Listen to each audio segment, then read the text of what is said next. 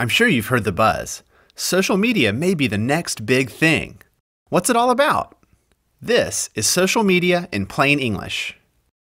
Let's take a visit to Scoopville, a town that's famous for ice cream. For over 20 years, Big Ice Cream Company has been making high quality ice cream with a big factory in town. A few years back, the company did focus groups and found out that they could maximize profits by offering three flavors chocolate, vanilla, and strawberry. The residents of the town were content. They never thought it could be different. Then something happened in Scoopville. A new invention came to town. Suddenly, everyone can make their own ice cream for only a few dollars. This changed everything. The Smiths decided to make pineapple ice cream. The Joneses made ice cream with pecans. Soon, every kind of ice cream imaginable was being made by Scoopville's residents at very little cost. Of course, some ice cream was more popular than others, and that was okay. Sylvia's pickle ice cream had a very small but loyal following.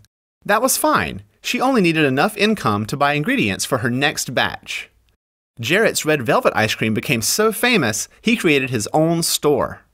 Over time, people started to think differently about ice cream.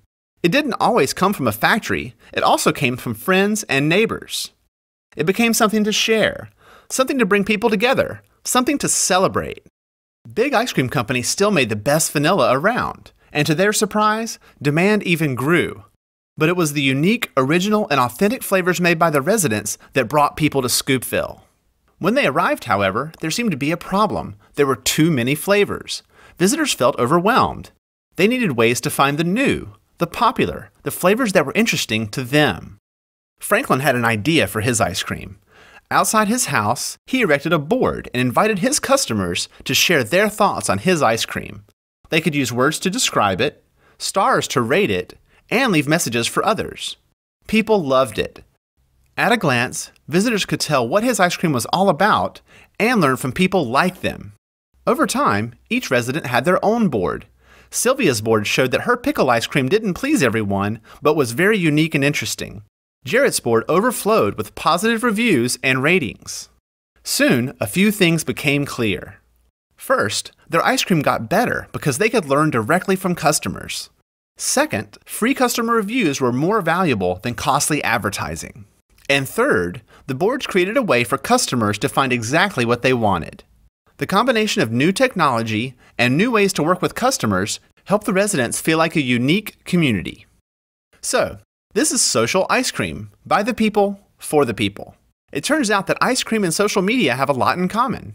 Today, everyone has a chance to make their own flavors thanks to free tools like blogs, podcasts, and video sharing. Plus, we now have new ways for real people to play a role in providing feedback, organization, and promotion. Whether you're a big, established company, an individual with loyal fans, or simply someone with ideas and opinions, Social media means new opportunities to create and communicate with people that care. New tools are arriving in cities and towns around the world. When this change comes to your neighborhood, the choice is yours. What flavors will you make? I'm Lee LeFever, and this has been Social Media in Plain English on the Common Craft Show.